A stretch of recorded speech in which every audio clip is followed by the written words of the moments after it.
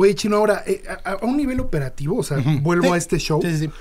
¿Cuánta gente trabaja en un show de estadio como el que, que vamos a ver? ¿Cuáles son los departamentos? Ajá. ¿Cuáles son las áreas? Ahí te va, mira. Nosotros, eh, yo siempre recalco mucho eso de que si agarráramos, si agarrásemos un libro de, de music business y ahí vas a encontrar las posiciones y que el tour manager, el este eh, road manager, el no sé qué manager, ya ves, managers por Sí, lado. stage manager. Exacto, este, exacto, exacto. Entonces, de pronto, este, sí, si pudiéramos todas las bandas o todos los proyectos establecer un organigrama de ese tipo, estaría increíble, pero la realidad es que no es así. Entonces, te tienes que adaptar. Yo como lo tengo adaptado, por ejemplo, la oficina de Café Tacuba, este, somos tres personas básicamente, ¿no? Es Tololoche, ¿no? El Tololoche, exactamente. Tenemos dos, digamos, eh, eh, empresas. Una es el Tololoche y otra Melotron. Melotron es la disquera de Café Tacuba. Tololoche es quien se encarga de la operatividad. Ok.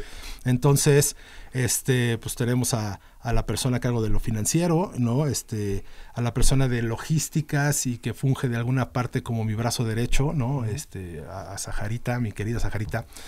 Y, y después tienes el departamento de producción, tienes departamento de, este, bueno, los técnicos, etcétera. Entonces, Café Tacuba somos, cuando viajamos, eh, somos 17 personas, contando a los músicos, que son 6. ujú.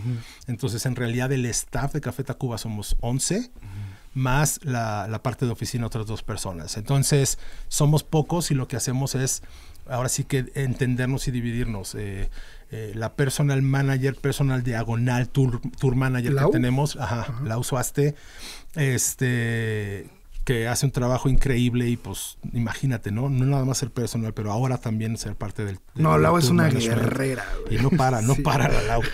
Este, entonces lo que hacemos es eso, como que entre nosotros nos entendemos y le damos. Ahora, por ejemplo, eh, la, la incorporación más reciente, que no es reciente porque él ya trabajaba con nosotros desde el 2016, el señor Luis López, que es nuestro production Ah, manager. production. Ajá. Este, con este equipo que tenemos alcanzamos perfectamente a dividir. Y tú conoces perfectamente a nuestro staff, ¿no? La parte de audio está más que resguardada con David Parra, con, con Humberto Torres, el Gambito. O El burrito, Gambito, saludos a David o-. O el burrito. este, entonces tenemos un equipo pequeño, sólido y es así como lo acomodamos. Ya después creces con, el- en este caso, con el equipo de Ocesa, obviamente, ¿no? O sea, la cantidad de personas que realmente levantan un show son cientos. Sí, desde los lobos, este, los stagehands que te Lobos, ponen. etcétera. La parte administrativa que luego nos se les olvida al mundo que existimos los godines. Entonces, es la parte administrativa es inmensa. El equipo que eh, estamos trabajando ahora en la parte de marketing, promoción, es, es gigantesco. Pues Miguel está contigo, ¿no? Miguel Solís, exactamente, también es a, a eso iba también. La otra parte fundamental de Café Tacuba es la parte de la comunicación. Y Miguel Solís se unió a nosotros el año pasado, este, si no es que un poco más. Es un genio, Miguel. Y es un genio. sí. Y si hay alguien que conozca la historia del rock nacional, es el Miguel Solís. Y, y es, él también se ha convertido como en mi brazo derecho en la parte de estrategia, de crear, de ¿no? Todo ese rollo. Eh, y la verdad es que siento que lo, lo estamos haciendo, quiero pensar que bien y, y diferente. ¿no? Este, por ejemplo, si, si tú dejas en manos de- del equipo de marketing tradicional de Ocesa, pues ha- hacen un copy-paste.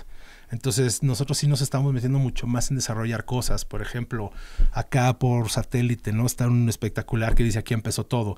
Es más sencillo hacer un espectacular que diga Café Tacuba Estadio GNP tal fecha.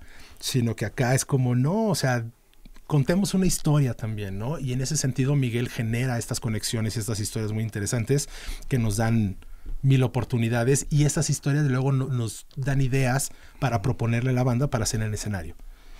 Sabes que en cuestión de comunicación a mí me encantó cómo plantearon eh, el sencillo. Ah, O sea, que, que hicieron este, o sea, todo, todo, que no, no pude ir por chamba, pero hicieron toda la presentación en SAE. Sí. Eh, salió cabrón, güey. O sea, desde Sí, el gracias. diseño de, del escenario, creo que fue Paula Rojas, ¿no? Quien- Sí, Paola Rojas fue la... Estuvo increíble todo, Ajá. la decoración. eh, porque, a ver, a mi entender, Café Tacuba era muy conservador en la comunicación y eso es algo que a mí no me encantaba, la neta.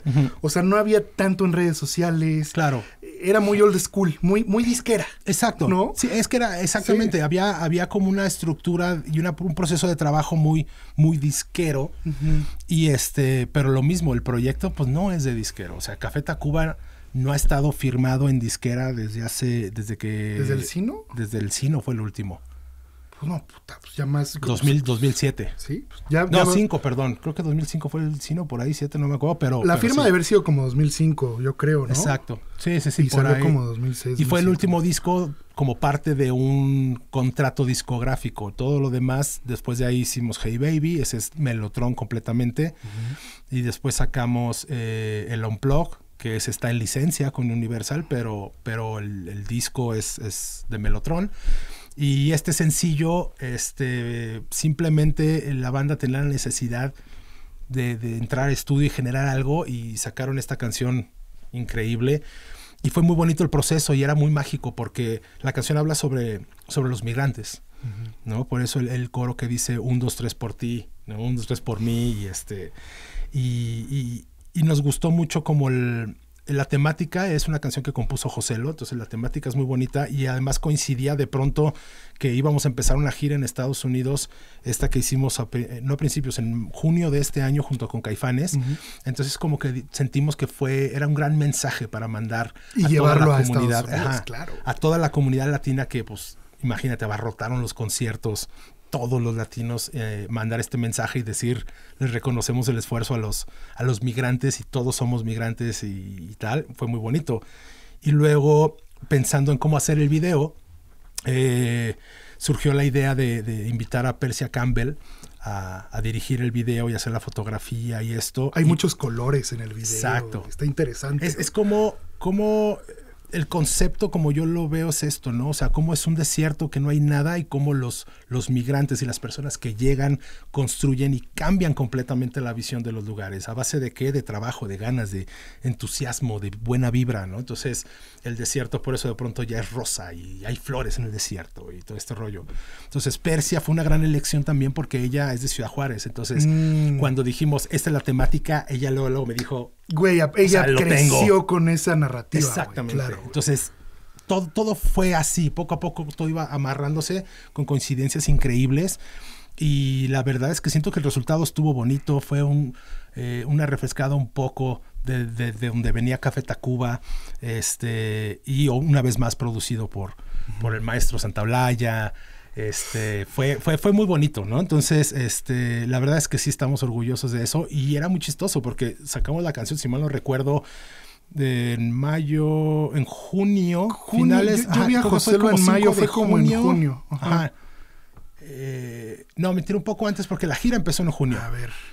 Eh, la gira empezaba el 28 de junio, por de mayo, perdón. Entonces sacamos la canción el 11 o 12 de mayo, exactamente. Que yo la escuché mucho antes, güey. Ah, la- mira. Ah, tú me la mandaste, güey. Este, pero eh, coincidieron como las fechas y todo, y cuando empezamos la gira al show número 3 o número 4, ya había gente cantando la canción. Entonces, cuando sucede eso es súper mágico, y me encanta. O sea, como decir, ok, funcionó, salió, ahí va. ¿No?